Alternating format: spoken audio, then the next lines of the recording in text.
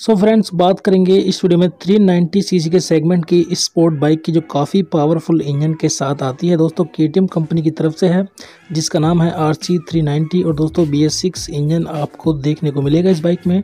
तो बात करेंगे दोस्तों इस वीडियो में इस बाइक के प्राइस के बारे में, क्या होगी इसकी नई प्राइस अगर आप इसको ख़रीदते हैं अभी के समय में, और इसकी ईजी किस्तों की डिटेल क्या होगी दोस्तों, उसके बारे में भी हम आपको बताएँगे, जिससे कि आप इस बाइक को आसानी से EMI पर भी ले सकते हैं।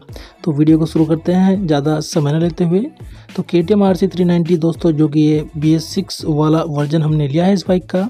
अगर आप इसको ख़रीदते हैं कोलकाता सिटी से अभी के समय में तो इसकी एक्सोरूम प्राइस आपको पड़ेगी दो लाख अड़तालीस हज़ार दो सौ छः रुपये और इसके आर टी ओ चार्जेस के बैठते हैं पच्चीस हज़ार सात सौ इक्यावन रुपये और इंश्योरेंस चार्जेस के लगेंगे इस बाइक पर इक्कीस हज़ार चार सौ चौरानवे रुपये तो दोस्तों, सारे टैक्सेस को जोड़ने के बाद इस बाइक का कैश प्राइस बनता है। अभी के समय में दो लाख पचानवे हज़ार चार सौ इक्यावन रुपये तो दोस्तों, यह है K T M R C three ninety B S six engine के साथ आने वाली बाइक की कैश प्राइस डिटेल अभी के समय में।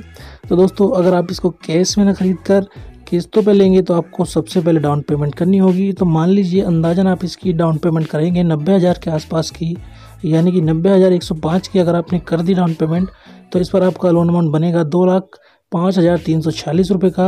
अगर आप इसको दोस्तों कराएँगे फाइनेंस तीस महीनों के लिए, यानी कि ढाई साल के लिए तो rate of interest twelve point five percent लगाने पर इसकी हर महीने की ई निकलेगी आठ हज़ार पाँच रुपये जो कि आपको तीस महीनों यानी कि ढाई साल तक पे करनी होगी। और दोस्तों टोटल बाइक आपको पड़ेगी ढाई साल में तीन लाख तीस हज़ार दो सौ पचपन रुपये की। तो दोस्तों, ये है इस बाइक की फाइनेंस की डिटेल और दोस्तों, दोनों डिटेल जो हमने बताई है कैश की और फाइनेंस की, ये है कोलकाता सिटी की अभी के समय में। दोस्तों, अगर आप कोलकाता से ले लेते हैं इस बाइक को तो आपको यही प्राइस में देखने को मिल जाएगी।